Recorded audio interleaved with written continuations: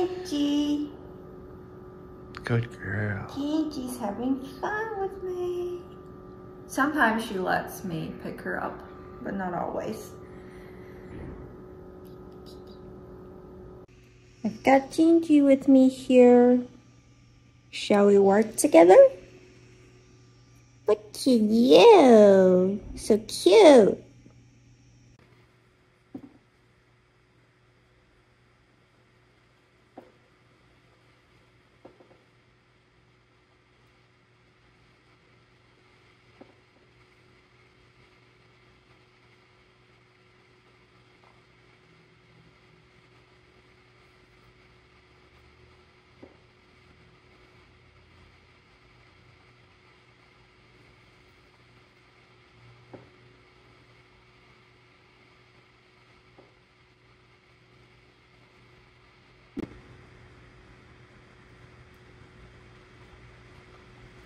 So to hold your bunny, what you need to do is you need to make sure you are holding her back feet.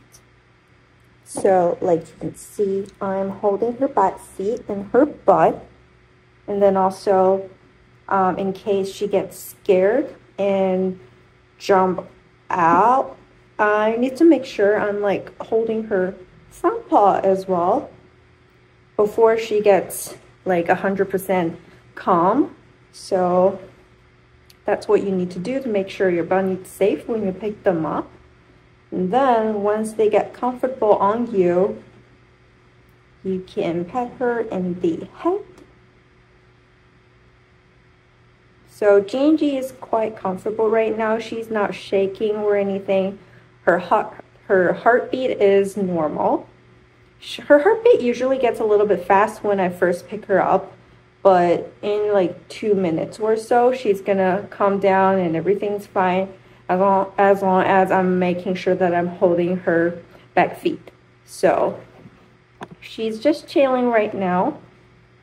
Now I'll hold her for a little bit longer, then I'll let her down and make sure to give her treats. So next time she will let me pick her up again.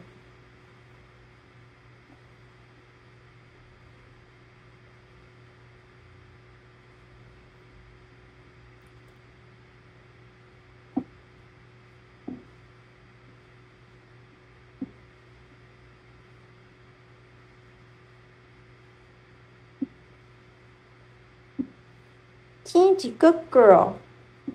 Good girl. Good girl. Good girl. Yes, that's some suitcases.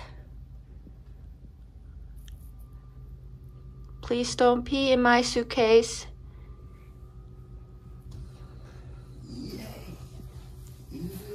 Oops. You almost kicked her. Okay. Uh-oh.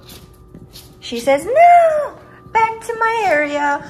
back to my living room. All right. Ooh, good girl. Good girl. Good girl.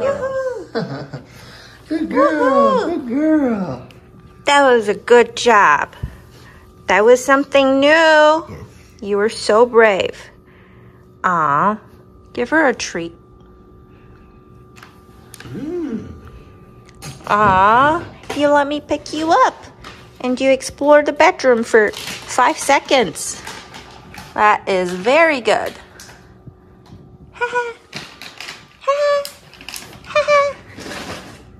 Ah, treat coming.